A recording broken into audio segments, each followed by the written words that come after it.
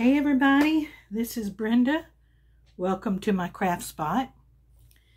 This is my third time trying to make this video, so hopefully uh, the third time's a charm, so we'll see. I want to share a journal that I've made using Pastor's Wife uh, Digiprints. She's on um, Instagram and she's on she's got a YouTube channel and I will try and uh, I told her I would link her uh, information down in the description box. Uh, so I, if you will, go check her out, please. Okay, so let's get into this journal. I love sunflowers. Most of you know that. If you know me, you know that. Um, so I picked out, uh, she gave me the opportunity to use one of her Digi kits uh, to work on and to share what I've made. And thank you, Jennifer, for allowing me to do that. So the one I picked out was my sunflower journal because, well, I love sunflowers. And I'm going to use this as a prayer journal. You can use it for whatever because it's not specific uh, for anything, but it has a lot of journaling areas. Well, all the pages are lined so you can journal on them. But of course, I did add some background pages of Angela Kerr's, and I added some of my uh, coffee dyed paper. Um, but anyway, so I, I, made this tassel, and the tassel's made out of um, shredded, um, thinly shredded um, vintage sheet that I had. And the reason I used it is because it's got the yellows and the blues that's in the journal. And also added some lace, pink lace, blue lace, and then there's a piece of trim there that I've used. But anyway, so that's the tassel. The ring is pretty big. I don't like using this big of a ring, but this is the only ring that I could find at the present time. So I'm using that for right now. I will probably change that out to a smaller ring when I get some. But anyway, and I'll, the closure is just uh, I think it's called, I'm not, it's not called a bulldog clip, but you see what kind of clip it is. It's mainly the clips that you put on paperwork whenever you work in an office or whatever. And I don't know what they're called, but they're called, they're clips. So anyway, I closed it with this. It probably won't continue to, it will, probably won't always be that. It's just, I haven't decided what kind of closure I want to use. So for right now, that's what I'm using. Okay, on the front, she gives you the cover and on this cover, you see the sunflower. It says My Sunflower Journal. Beautiful colors. You open it up. She gives you the inside cover as well. Um, I made a pocket here. And I figured, I thought, uh, well, that's letting all my southern come out. I figured. Um, I thought I would uh, make a pocket there so you can store um, notes or pictures or whatever you make your journal for, uh, ephemera, memorabilia, whatever you make your journal for. But like I said, I'm going to use it as a prayer journal. But anyway, so they're beautifully lined papers. And she, she includes washi tape um, into the kit. So I put that on my coffee dyed paper. And I made some tabs with the washi tape. And here's a uh, spread of two of the journal pages.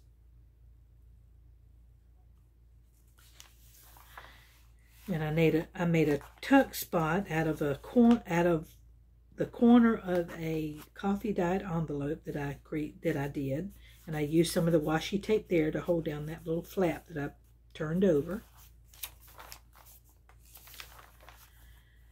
Here's another page. Like I said, there's lots of journaling space. This is a coffee dyed coffee filter. Coffee dyed paper. Uh, Angela Kerr background. Uh, avocado background. And here is a uh, altered paper clip um, that I made using her uh, cutouts, and I think she calls it in the kit, she calls it a uh, paper clip. So it's two pieces for the paper clip. There's another one with beautiful pages. Like I said, her pages are beautiful. Another washi tape tab. Another beautiful page. And see how the blues, she brought in the blues. Here's two more corner tucks that I made using the uh, coffee dyed envelopes that I did. And I just used some of her embellishments, her um, cut apart, cut apart and um, uh, fussy cut. This is one, uh, one sunflower, full sunflower, I fussy cut and then I cut it in half and I used it on half of it on this one and I use uh, the other half. You'll see the other half later on in the journal. And this is some quotes from Angela Kerr. It says, bright sunflowers never fade. And there's another couple of pages of the DigiKit. Background of Angela Kerr's. Washi tape that I put on the lined um, school paper that I coffee dyed. Uh, this is another either you could fussy cut those small pieces out or you could use it as washi tape. I didn't feel like fussy cutting those small pieces, so I used it as, I didn't even use it as washi tape. I just used it as a belly band. And I took one of the fussy cut sunflowers and put in the center there, along with one of my coffee dyed envelopes. Another journaling page, the sunflower journaling page.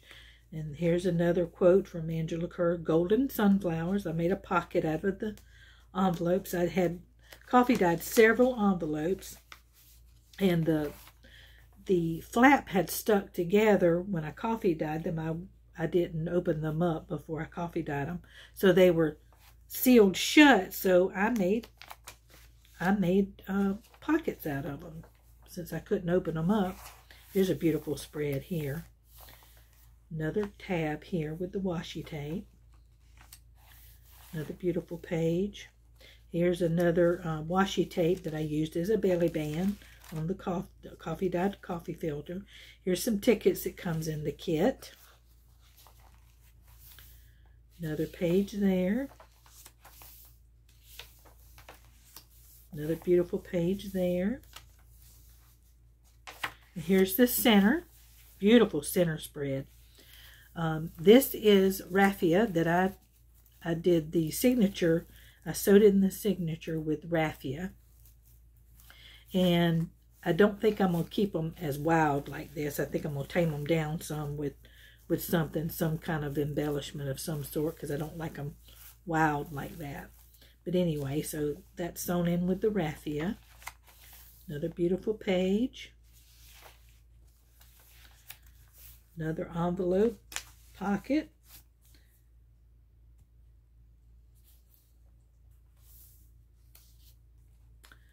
The road to freedom is bordered with sunflowers. Another one of those quotes. Another beautiful page. Here's another quote that I made out of, out of a pocket. It says, Rise and shine. Another fussy cut sunflower. Another beautiful page, simple but beautiful. Another envelope, pocket, tuck, that's got one of her tags in it from the kit. Another beautiful page. I believe this is one of my favorites. Got the bees and the sunflowers. Another beautiful page. Some of the pages are very simple, simplistic, uh, but um, very pretty. And who doesn't like a lot of journaling space? And besides, you always add things to your journal anyway, so by the time you add the different components in your journal, you've got a nice sized journal. And I decided this is the first slimline journal that I've done in a long, long, long time, but I, I love the way it turned out. And Jennifer, hope you do too. Another washi, washi tape tab. There we go, another layout there. This is an applique that I had in just a little one of the little bits and piece uh, drawers that I had. I had I uh, tore the little spot there, so I said, man, I said, I don't feel like printing out another page to try and get that get this done. So I looked in my stash, and because it had a little flower there, I I covered it up. So, you know, in crafting, there's no mistakes in crafting. So there you go. Another beautiful page. She's brought in the blues and there's a little purple in there.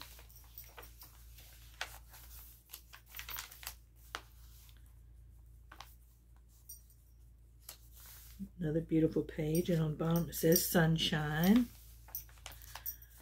Another belly band I made with a strip of the washi tape. Let me just put a strip of the washi tape here on the edge of that page.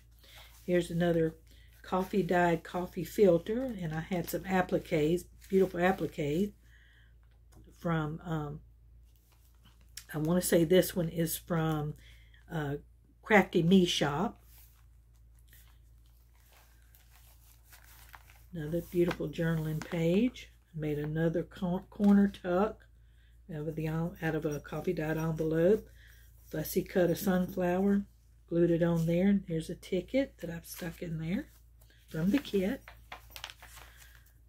Another, here's that other hat for that sunflower in that little tuck spot. Another ticket. And here's another pocket that I uh, used of the coffee dyed envelope with one of the little cutouts in our kit. There we go. Beautiful pages. Another washi tape tab. Angela Kerr background design. Another coffee dyed paper. There's the back page.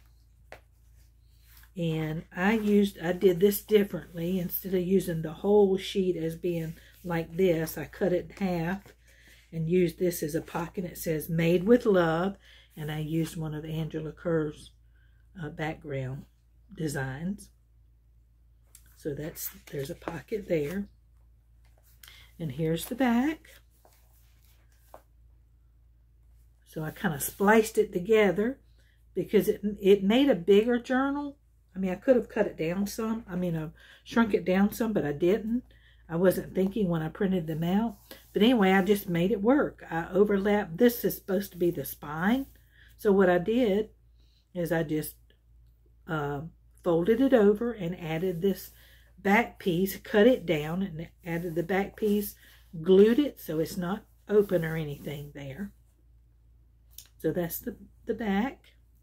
And as you can see, there's the raffia sewed the signature in with the raffia. And I sewed all the way around the journal. Before I even put the journal together, I sewed the whole complete cover all the way around. And that is my sunflower journal. And like I said, it's from Pastor's Wife Digi Prints. So go over there and check her out and tell her Brenda sent you from my craft spot. And you all have a wonderful day and the rest of your week. And God bless. Bye for now.